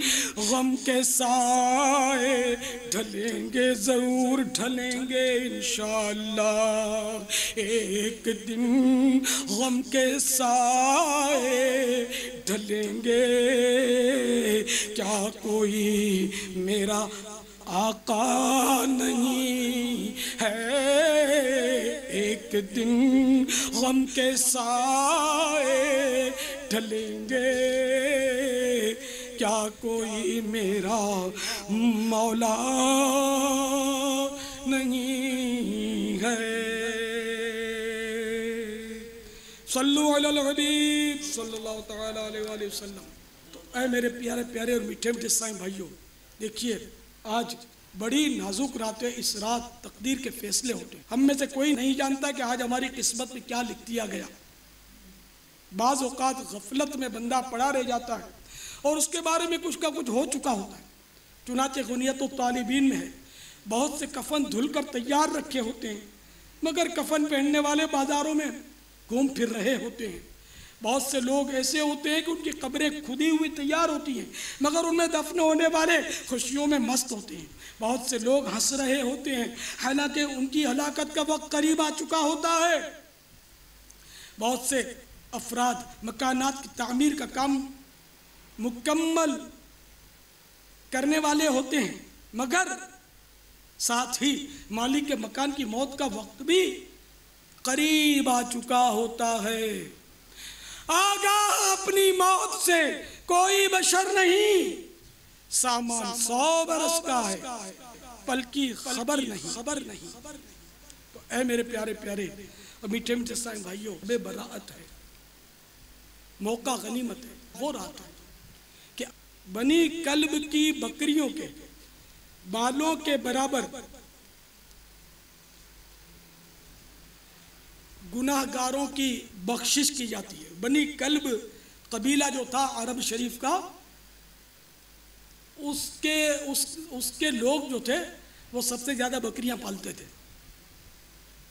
तो लाखों करोड़ों की आज, यानी शब बरात में मगफरत की जाती है। अलबत्ता, यानी जहन्नम से वो आज़ाद किए जाते हैं। मगर काफिर नहीं बख्शे जाते। अदावत वाले भी नहीं बख्शे जाते। जो मुसलमान आपस में बुगजो कीना रखते हैं खारबाजी करते हैं। किसी दुनियावी सबब की वजह से तो वो भी नहीं बख्शे जाते आज की रात। और हम में से न जाने कौन बच्चा होगा कि किसी एक का तो मुसलमान पर तो खामा का खारबाजी और कीना दिल से निकाल दीजिए। इसी तरह रिश्ता काटने वाले रिश्तेदारों से जो रूट कर बैठ जाते हैं खामा खा झगड़ा मोल लेते हैं कि इसने मुझे दावत नहीं दी, मुझे शादी में नहीं बुलाया तो मेरे साथ मुस्कुरा कर बात नहीं की तो फुला किया तो चुनी किया तो चुना किया। तो इसलिए वो रिश्तेदारी काट कर बैठ जाते हैं। हालाँकि नाराज़ रिश्तेदार को पर एहसान करने में ज़्यादा सवाब है। तो रिश्तेदार के साथ तो हुसन सलूक हमें करना ही करना है, जब तक कोई शर्री उज्र ना हो। एक रिवाज के मुताबिक तस्वीरें बनाने वाला भी इस रात नहीं बख्शा जाता। काहिन, जादूगर तकबर के साथ पाजामा लटकाने वाला ये आ गया। तो ये भी नहीं बख्शा जाता, दो मुसलमानों के दरमियान फूट डलवाने वाले भी नहीं बख्शे जाते। तो इन गुनाहों से तोबा कर लीजिए। शायद कोई सोचे कि अभी ये मूवी में खुद नज़र आ रहा है बोलता तस्वीरें बनाने वाला नहीं बख्शा जाएगा। तो तस्वीर और मूवी में फ़र्क है। आईने में भी तो आप देखते ही होंगे। तो आईने में आप देखते हैं तो बिल्कुल आप नज़र आते ही नहीं अपने आप को। क्या ये तस्वीर है? ये तस्वीर नहीं है ना? तो मूवी में भी हमारे एक तादाद है उलमा की, जो यही कहती है कि ये तस्वीर नहीं है। मूवी में ये ये अक्स है, जिस तरह आईने का अक्स होता है। तो तस्वीर बनाना और है, मूवी बनाना और। इसके अलावा भी तस्वीर के मामले में बहुत कलाम है। तो जो जीनत के लिए तस्वीर बनाता है, घरों में लगाते हैं, खामा अखबारों में तस्वीरें देते हैं, शौकिया तस्वीरें खिंचवाते रहते हैं लोग, बिला ज़रूरत, खामा खा। तो वो खूब इससे इबरत हासिल करें। नीज, तस्वीरें बनाने वाले तो ख़ास तौर के सुने। जो कैमरों से तस्वीरें खींचते हैं ना तो ये तस्वीर खींचना हराम कतई है। कतई हराम और जहन्नम में ले जाने वाला काम है। अगर इसका कारोबार है तो तोबा कर लो। सच्ची तोबा। अल्लाह रोज़ी देने वाला, हलाल रोज़ी की तरफ़ भागो। पाक और सुथरी रोज़ी की तरफ़ निकलो। अल्लाह ज़रूर देगा। क्यों नहीं देगा? जब तक उसने ज़िंदा रखना मुकद्दर फरमाया है, रिस्क उसके ज़िम्मे करम पर है। वो ज़रूर इनायत फरमाएगा। ज़रूर मिलेगा इन अपना हिस्सा मिलकर रहेगा। इन हम अगर बेसब्रे न बने, हमारी बेसब्री ने हमको कहीं का ना छोड़ा। अल्लाह ताला सब्र कनात की नेमत से हमको आज की रात भरपूर हिस्सा आता फरमा दे। हम हराम रोज़ियों से तोबा करके हलाल, मुख्तसर सी हलाल रोज़ी पर कनात करने वाले बन जाए। काश काश काश। हराम के अरबों रुपए, खरबों रुपए खुदा की कसम बेकार हैं। हलाल का एक रुपया अच्छा है, एक रुपया। बहुत अच्छा। कि एक बुज़ुर्ग का कौल है कि हलाल का लुकमा जब मुँह में रखते हैं और जब, यानी ये इसके पेट में पहुँचे, हलाल का लुकमा पेट में पहुँचने से पहले पहले अल्लाह ताला इसकी मगफरत कर देता और हराम का लुकमा, हराम का लुकमा जब पेट में जाता है जब तक पेट में रहता अल्लाह ताला की और मलाइका वगैरह की, उस पर लानत उतरती रहती है। और इस हाल में मर गया कि उसके पेट में हराम का लुकमा तो जहन्नम का ईंधन बनेगा। ए अल्लाह, हम हराम से बाज आए। हमें मालदार नहीं बनना, हमें सूदी लोन लेकर कारोबार नहीं चमकाना। है अल्लाह, हमें हलाल, आसान और बकदर किफ़ायत रोज़ी दे, अपने सिवा किसी का मोहताज ना कर। और दे तो हलाल रोज़ी दे। उस्मान गनी के ख़जाने में से दें। और फिर उस्मान गनी की सखावत का हिस्सा भी दें कि ज़रूरत के मुताबिक रख कर सारी तेरी राह में लुटा दें। ऐसा दिल दे दे। और अल्लाह, वरना हमें ऐसी ऐसी हलाल रोज़ी से भी ना आजमा कि हम कहीं शामत नफ्स की वजह से ज़क़़तों से चूक जाएँ, वाजिब सदक़े ना निकालें और कानून के ख़जाने का रूप धार ले कहीं हमारी दौलत और हमें फंसवा दे। ऐसी दौलत से हम बाज आए। हम पनाह मांगते, तेरी मोला, हमें बचा ले। ए मोला, आज शब बरात छुटकारा पाने की रात है। हमें बचा ले। हमें आफतों से बचा ले, गुनाहों से बचा ले।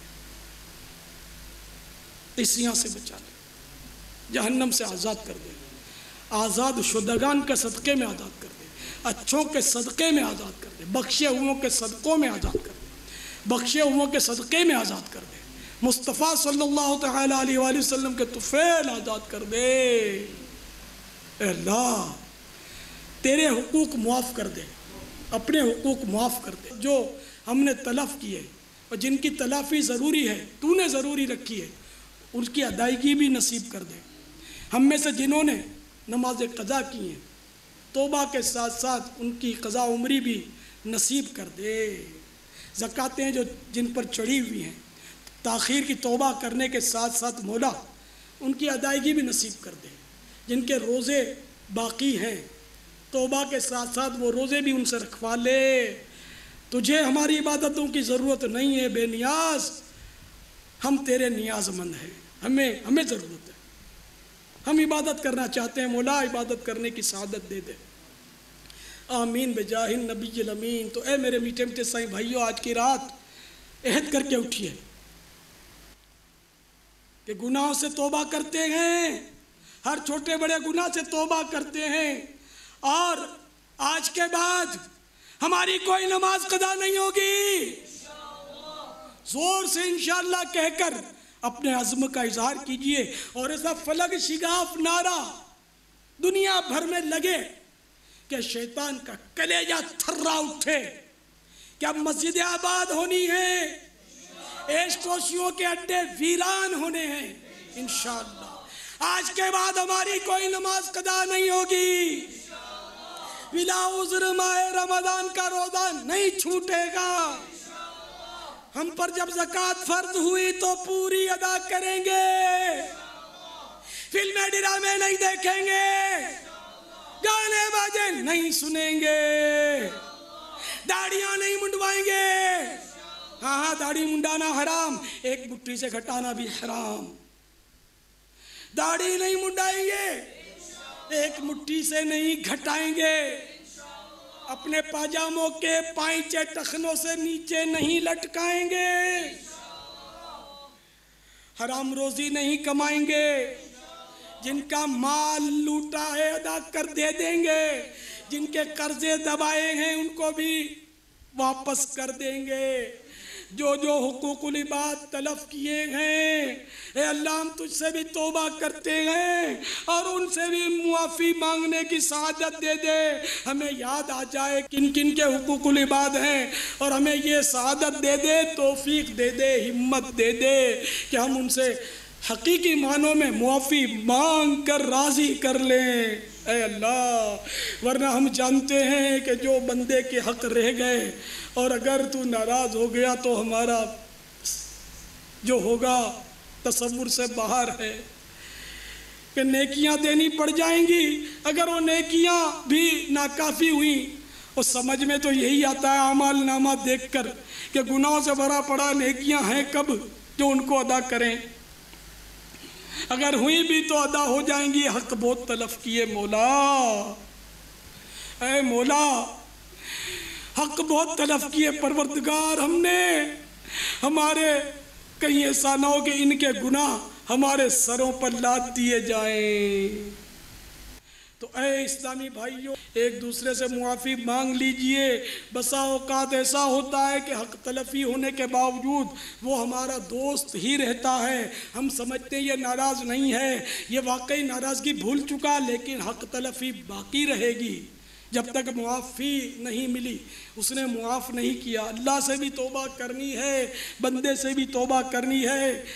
और जिसके जितने ज़्यादा लोगों से रबते होते हैं, उन उसके लिए ख़तरात भी ज़्यादा मेरे लाखों करोड़ों से वास्ता है, मेरे जानने वाले हैं। मुझे भी बड़ा एहसास है कि न जाने मैंने कितनों की तलफियाँ की होंगी, कितनों को डांटा हो, कितनों को झाड़ा हो, कितनों की चीज़ें लेकर भूल गया हूँगा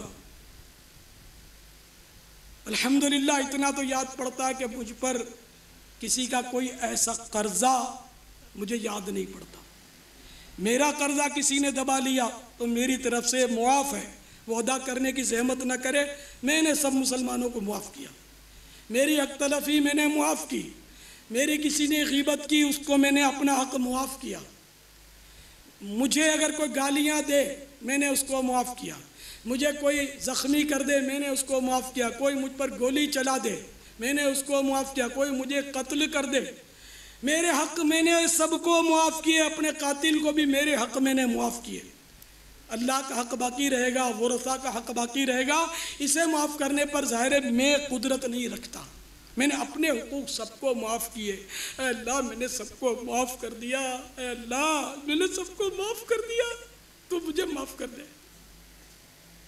या अल्लाह, मुझे माफ़ कर दे। ये कोई मेरा अमल ऐसा नहीं कि जो कोई बड़ा अमल हो। तू बेनियाज है। तेरी बेनियाजी तेरी बेनियाजी मालूम। अस्सी हज़ार साल शैतान इबलीस ने इबादत की। इन का रजीमुन, वो रंधा हुआ हो गया। काना मिनल काफिरीन, वो काफिरों से हो गया। तेरे दरबार से वो दुरकार दिया गया, दूर कर दिया गया। हमेशा दोजक में जलेगा। तेरी बेनियाजी मालूम। मेरा अमल कुछ भी नहीं है। क्या इसका वास्ता दूँ? इखलास भी नहीं।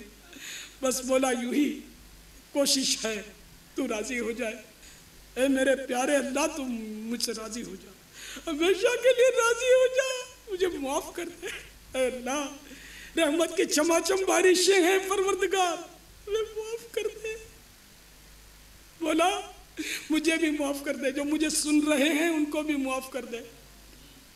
आइंदा मेरी आवाज़ सुनेंगे, उनको भी मुआफ़ कर दे, जो कैसेट के ज़रिए सुनेंगे, उन्हें भी मुआफ़ कर दे। अल्लाह, महबूब की प्यारी उम्मत को बख्श दे। अल्लाह, प्यारी उम्मत को, सारी उम्मत को बख्श दे। महबूब की प्यारी उम्मत की मगफिरत कर दे। या अल्लाह, हम सबको बेहिसाब बख्श दे। अल्लाह, तेरे बंदों के हुकूक का मैं क्या करूँ? किस किस से जाकर माफ़ी मांगूं? मुझे तो याद भी नहीं रहता। और मेरी इतनी इस्तेदाद अब न रही कि मैं लोगों के घर घर जाकर माफ़ी मांग सकूँ, उनसे रबते कर सकूँ। अल्लाह, मैं ालिम हूँ। मैंने अपनी जान पर बड़े जुल्म किए। मैंने लोगों के बड़े हक तलब किए। अल्लाह, ये सब अगर क़यामत के दिन खड़े हो गए, अपनी हक तलब करने के लिए मैं कहा जाऊँगा? सबने सफे माशर में ललकार दिया हमको। कसों की तेरी दुहाई दुहाई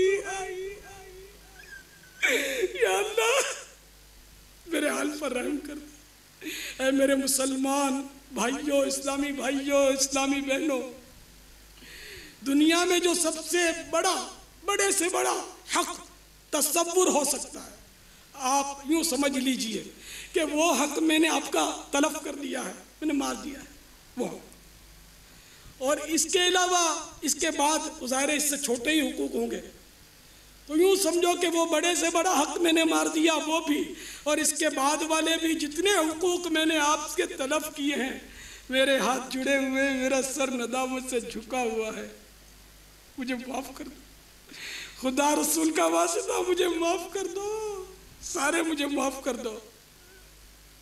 मुझे सुनने वालों में बहुत सारे ऐसे होंगे कि जिन्होंने मेरे, मेरी वजह से जिनके दिल दुखे होंगे, दिल आजारियाँ हुई होंगी। पता भी नहीं चलता दिल दुख जाते हैं ईज़ा पहुँच जाती है बसा औकात। और कसूर अपना होता भी है कि ईज़ा दे बैठते हैं, लेकिन होश नहीं होता, एहसास नहीं होता। अः मुसलमानों, मुझे माफ़ कर दो। खुदा का वास्ता माफ़ कर दो। अल्लाह आपको अजर अजीम अता फरमाए। अल्लाह आपको नवाजेगा, बहुत देगा, दुनिया में भी देगा, आखिरत में भी देगा।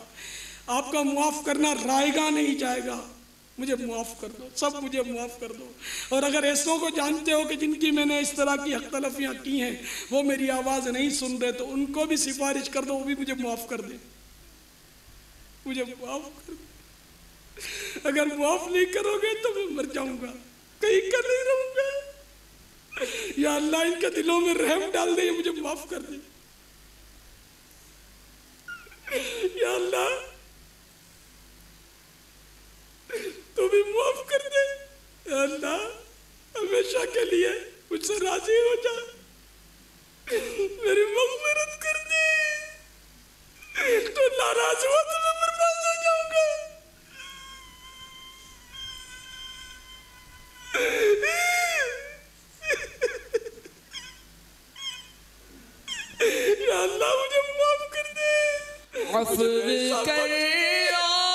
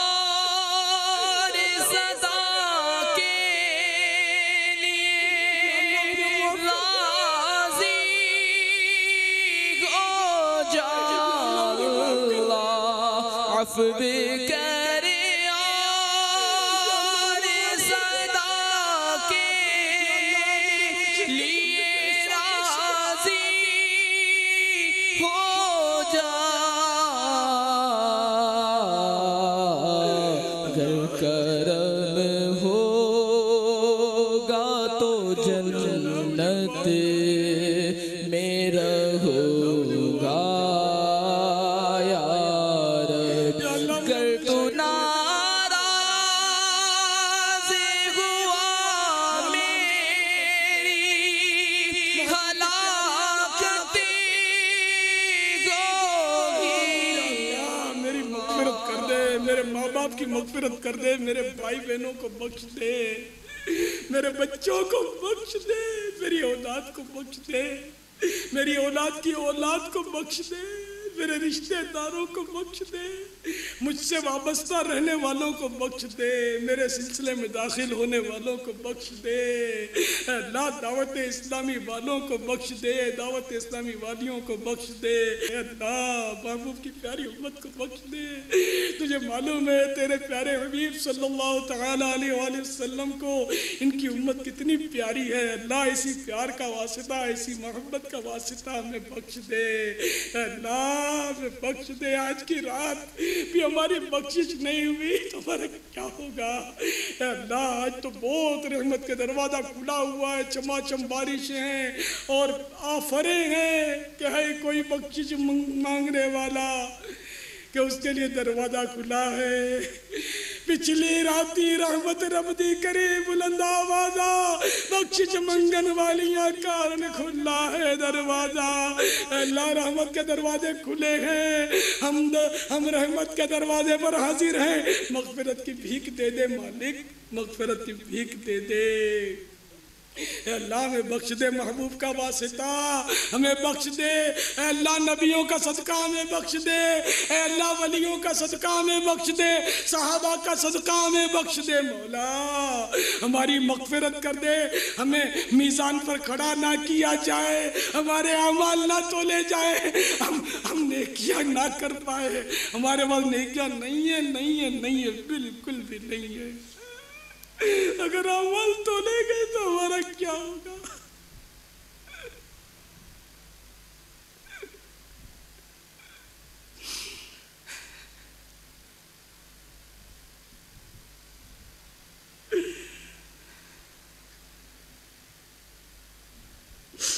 सल्लल्लाहु तआला अला खैर खल्क़िही व नूर अर्शिही सय्यिदिना व मौलाना मुहम्मद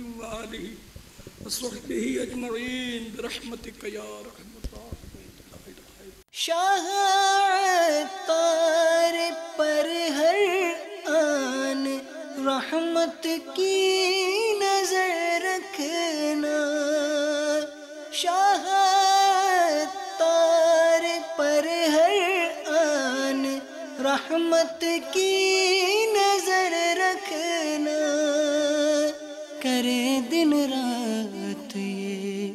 सुन्नत की खिदमत या रसूल अल्लाह